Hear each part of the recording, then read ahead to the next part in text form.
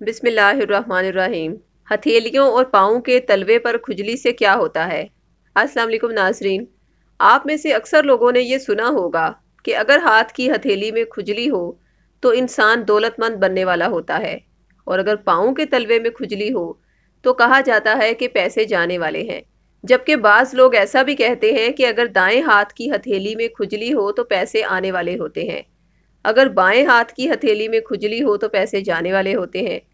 कुछ लोग तो ऐसा भी कहते हैं कि अगर मालदार बनना है तो दाएँ हाथ की मुट्ठी बंद करके जेब में डाल लो और उसे मस लो। अगर खुजली होना शुरू हो जाए तो इसका मतलब ये होगा कि आप जल्द मालदार हो जाएँगे।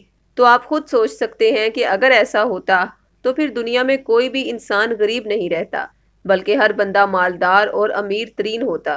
तो जान लें कि ऐसा कुछ भी नहीं होता। बल्कि आज की वीडियो में हम आपको बताएँगे कि हाथ की हथेली या पाँव के तलवे में खुजली होने से क्या होता है।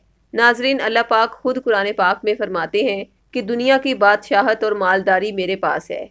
मैं जिसे चाहता हूँ देता हूँ, जिसे चाहता हूँ फ़कीर बना देता हूँ, जिसे चाहता हूँ इज़्ज़त देता हूँ, जिसे चाहता हूँ ज़िल्लत देता हूँ। तो आपको ये बात अच्छी तरह जान लेनी चाहिए कि जिसम के किसी भी हिस्से पर खुजली हो जाने से ना तो बंदे मालदार होते हैं और ना ही गरीब होते हैं, बल्कि ये सिर्फ़ लोगों की बातें होती हैं।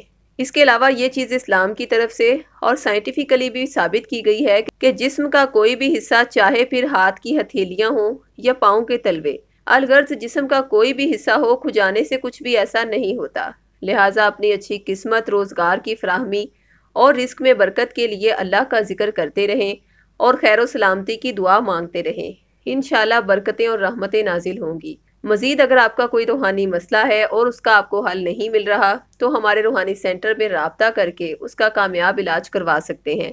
अगर आप अपनी अच्छी किस्मत के लिए अपने नाम के मुताबिक इसमें आज़म जानना चाहते हैं तो डिस्क्रिप्शन में दिए गए नंबर्स पर रबता करें। और अगर वीडियो अच्छी लगे तो उसे लाइक और चैनल को सब्सक्राइब ज़रूर कीजिएगा। शुक्रिया। अल्लाह हाफिज़।